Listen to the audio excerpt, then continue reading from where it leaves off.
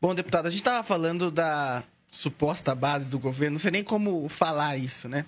É, eu queria saber qual que é a sua relação com o governo Bolsonaro e a sua relação com o presidente, porque numa live no começo do ano ele fez alguns ataques, né? Não citou o nome do deputado claramente, mas ele se refere ao deputado como japonesinho, ataca a Joyce. Foi irônico, né? É, ele é irônico ao extremo. É um estilo que eles adotam, não só o presidente, mas os filhos também, quando alguém não concorda com eles. Qual que é a relação do senhor com o governo Bolsonaro e com o presidente?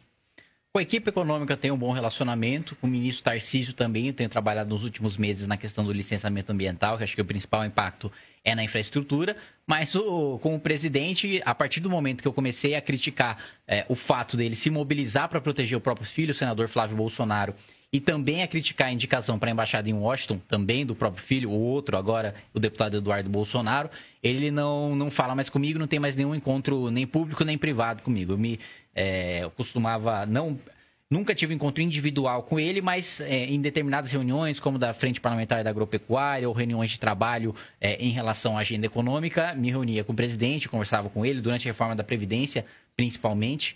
É, mas desde então ele não, não, não tem nenhum encontro, não, não, não entra em contato, nem nada do tipo. O que eu acho, primeiro, uma baboseira gigantesca, porque, aliás, até saiu uma.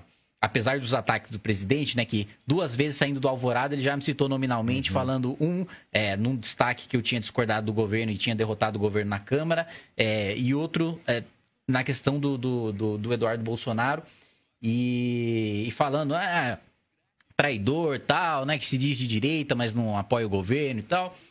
E é, e é engraçado e é irônico porque saiu uma ferramenta do site J, né, no, no finalzinho do ano passado, mostrando o quanto cada parlamentar dos 513 votou com o governo. E eu votei em mais ocasiões com o governo do que o Eduardo Bolsonaro, filho do presidente da República.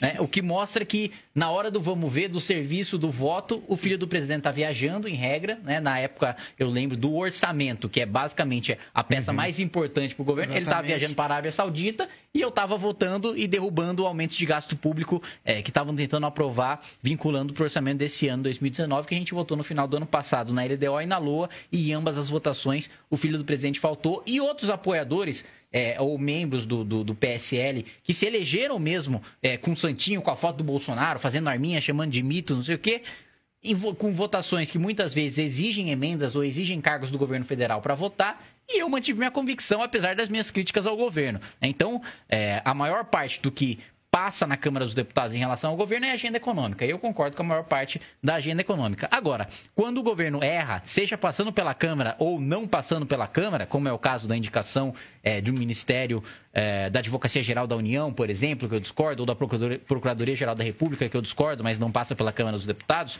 eu vou apontar e eu vou criticar porque eu sou independente, né? Então, uhum. mesmo que o presidente da República é, me tenha ali, ah, se é de direita, precisa me apoiar, primeiro que eu preciso aprender o conceito de direita, que se é hegemônico, já não é direita, já não é um projeto é, de indivíduo, já não é a construção de uma sociedade nem liberal nem conservadora. É, e, ter, e, e, e, o segundo ponto é que é, ele precisa cobrar mais da própria base, dos próprios companheiros, dos próprios aliados que estão sempre com eles, com ele nas lives, nas reuniões, no Palácio do Planalto, mas que na hora do voto fa ou faltam na Câmara dos Deputados ou não votam esperando em troca um cargo, uma emenda.